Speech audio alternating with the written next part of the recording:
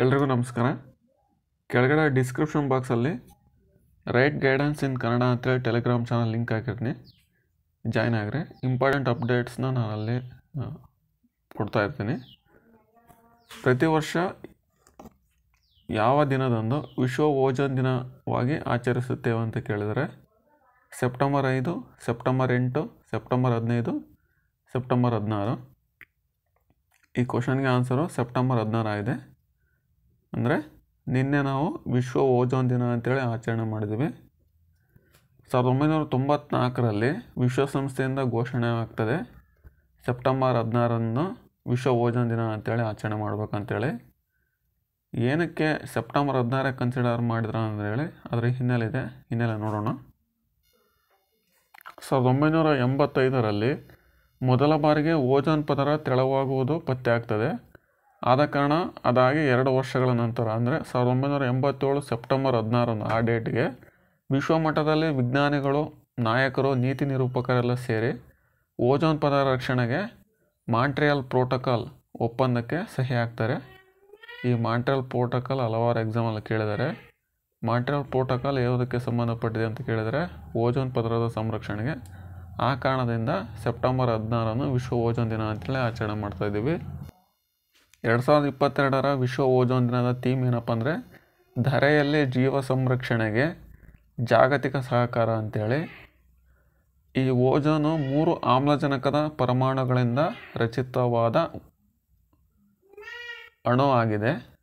ನೋಡ್ರಿ ಓ ತ್ರೀ ಈ ಓಜೋನ್ ಪದರವು ಸೂರ್ಯನಿಂದ ಬರ್ತಕ್ಕಂತಹ ಹಾನಿಕಾರಕ ಅತಿನೇರಳ ವಿಕಿರಣಗಳನ್ನು ತಡೆದು ಭೂಮಿಯ ಜೀವಿಗಳನ್ನು ರಕ್ಷಿಸುತ್ತದೆ.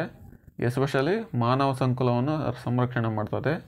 ಈ ಯು ವಿ ಕಿರಣಗಳಿಂದ ಮನುಷ್ಯನಿಗೆ ಚರ್ಮದ ಕ್ಯಾನ್ಸರ್ ಉಂಟಾಗ್ತದೆ. ಜೀವಿ ಸಂಕುಲಗಳ ಮೇಲೆ ವ್ಯತಿರಿಕ್ತ ಪರಿಣಾಮ ಬೀರ್ತದೆ.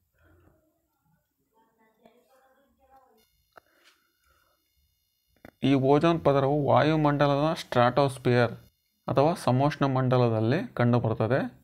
ಹದಿನೈದರಿಂದ ಮೂವತ್ತೈದು ಕಿಲೋಮೀಟ್ರ್ ಅಂತರದಲ್ಲಿ ಕಂಡುಬರ್ತದೆ. ಸ್ಟ್ರಾಟೋಸ್ಪಿಯರಲ್ಲಿ ಇನ್ನು ವಾಯುಮಂಡಲದಲ್ಲಿ ಐದು ಭಾಗಗಳಾಗಿ ನೋಡ್ತೀವಿ.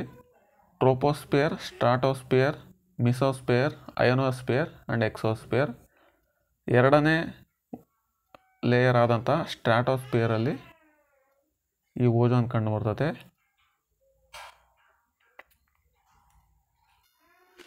ಈ ಓಜೋನ್ ಪದರ ತೆಳುವಾದಕ್ಕೆ ಮುಖ್ಯ ಕಾರಣ ಏನಪ್ಪ ಅಂದರೆ ರೆಫ್ರಿಜರೇಟರ್ ಏರ್ ಕಂಡೀಷ್ನರ್ಗಳಿಂದ ಬಿಡುಗಡೆ ಆಗ್ತಕ್ಕಂಥ ಸಿ ಎಫ್ ಸಿ ಮತ್ತು ಎಚ್ ಎಫ್ ಸಿಗಳು. ಸಿ ಎಫ್ ಸಿ ಅಂದರೆ chlorofluorocarbon, H F C ಅಂದರೆ ಹೈಡ್ರೋಫ್ಲೋರೋ ಕಾರ್ಬನ್ಗಳಾಗಿದೆ. ಅದಲ್ಲದೆ methyl bromide, halon, carbon tetrachloride ಅನಿಲ ಅನಿಲಗಳು ಕೂಡ ಕಾರಣ ಆಗಿದೆ. ಈ ಓಜೋನ್ ಅನ್ನೋದು ಯಾವ ರೀತಿ ಫಾರ್ಮೇಷನ್ ಆಗುತ್ತಪ್ಪ ಅಂದರೆ ಆಕ್ಸಿಜನ್ನಿನ ಒಂದು ಅಣು ಪ್ಲಸ್ ಆಕ್ಸಿಜನ್ನಿನ ಒಂದು ಪರಮಾಣು ಸೇರಿ ಓಜೋನು ರೆಡಿ ಆಗ್ತದೆ. ನೋಡಿರಿ, ಈ ಯು ವಿ ಕಿರಣಗಳ ಅವಶ್ಯಕತೆ ಇದೆ.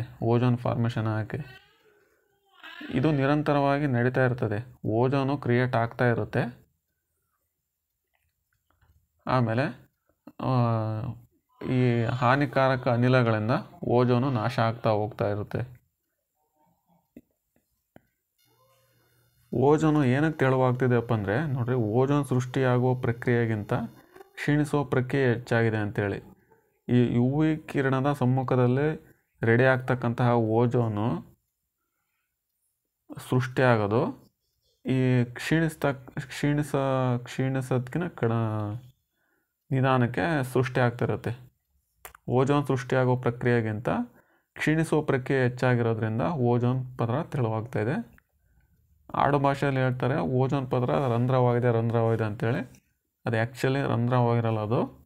ಅದು ಇಷ್ಟು ದಪ್ಪ ಇರ್ತಕ್ಕಂತಹ ಓಜನ್ ಏನಾಗ್ತಪ್ಪ ಅಂದರೆ ತೆಳುವಾಗ್ತತೆ ಈ ಥರ ತೆಳುವಾಗ್ತತೆ ತೆಳುವಾದ ಕಾರಣ ಏನಾಗ್ತದಪ್ಪ ಅಂದರೆ ಈ ಅಲ್ಟ್ರಾವೈಲೆಟ್ ಯು ವಿ ಕಿರಣಗಳನ್ನು ಡೈರೆಕ್ಟ್ ಸೂರ್ಯನಿಂದ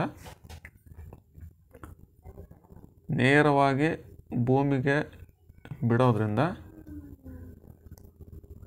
ಬಿಡೋದ್ರಿಂದ ಇಲ್ಲಿ ಭೂಮಿಯ ಮೇಲೆ ಮಾನವ ಸಂಕುಲಕ್ಕೆ ನಾ, ತೊಂದರೆ ಆಗ್ತದೆ ಹಾಗೂ ಜೀವಿ ಸಂಕುಲಗಳು ಕೂಡ ನಾಶ ಆಗ್ತವೆ.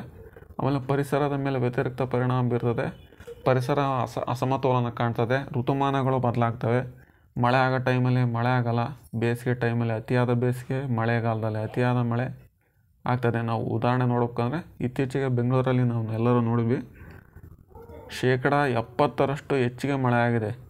ಪ್ರತಿ ವರ್ಷ ಎಷ್ಟು ಮಳೆ ಬೀಳುತ್ತಲ್ಲ ಅದಕ್ಕೆ ಎಪ್ಪತ್ತರಷ್ಟು ಮಳೆ ಹೆಚ್ಚಾಗಿದೆ. ಅಂದರೆ ನೀವೇ ಲೆಕ್ಕ ಹಾಕ್ರಿ.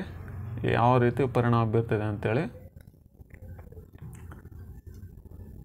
ಈ ಹಳ್ಳಿಯಲ್ಲಿರೋ ರೈತರಿಗೆ ಆಲ್ಮೋಸ್ಟ್ ಅಲ್ಲಿ ಗೊತ್ತಾಗ್ತದೆ. ಈ ಮಳೆಯನ್ನು ಮಳೆಗಾಲ ಅಂತ ಇರುತ್ತೆ ಅದು. ಆ- ಟೈಮಲ್ಲಿ ಮಳೆ ಬೀಳೋಕೆ ಆ ಟೈಮಲ್ಲಿ ಮಳೆ ಬೀಳಲ್ಲ. ಇನ್ನೇನು ಬೆಳೆ ಬರೋ ಟೈಮಲ್ಲಿ ಬಾ, ಅತಿ ಹೆಚ್ಚಾಗಿ ಮಳೆ ಬರೋ ಆ ಥರ ಎಲ್ಲ ವ್ಯತಿರಿಕ್ತ ಪರಿಣಾಮಗಳಾಗ್ತದೆ. ಇನ್ನು ನೋಡಿ, ಇನ್ನೊಂದು ಹೇಳೋದಂದರೆ, ಒಂದು ಕ್ಲೋರಿನ್ ಅಥವಾ ಬ್ರೋಮಿನ್. ಬ್ರೋಮಿನ್ ಅಣು ಲಕ್ಷಾಂತರ ಓಜೋನ್ ಅಣುಗಳನ್ನು ನಾಶ ಮಾಡ್ತತೆ. ಲಕ್ಷಾಂತರ ಓಜೋನ್ ಅಣುಗಳು ಸೃಷ್ಟಾಕಿ ಎಷ್ಟೋ ಟೈಮ್ ಅಂದರೆ ಕೇವಲ ಒಂದೇ ಒಂದು ಕ್ಲೋರಿನ್ ಈ ಮಿ ಬ್ರೋಮಿನ್ ಅಥವಾ ಕ್ಲೋರಿನ್ ಅಣುಗಳು ಲಕ್ಷಾಂತರ ಓಜೋನ್ ಅಣುಗಳನ್ನು ನಾಶ ಮಾಡ್ತವೆ. ಇನ್ನು ಗ್ರೀನ್ ಹೌಸ್ ಗ್ಯಾಸಸ್ ಹಸಿರುಮನೆ ಅನಿಲಗಳು ಯಾವಂತ ನೋಡಿದ್ರೆ carbon dioxide, methane, nitrous oxide ಆಗಿದೆ.